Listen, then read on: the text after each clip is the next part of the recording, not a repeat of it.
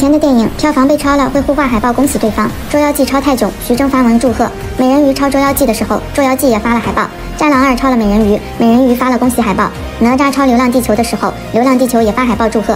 李焕英抄了《流浪地球》，《流浪地球》同样发了祝贺海报。